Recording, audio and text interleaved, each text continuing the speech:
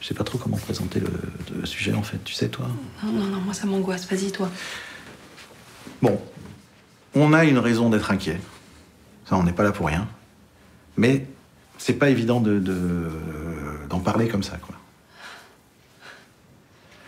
Euh, en fait, on, on a, on a peur que vous nous preniez pour des fous, quoi, si, si on vous raconte l'histoire. C'est ça.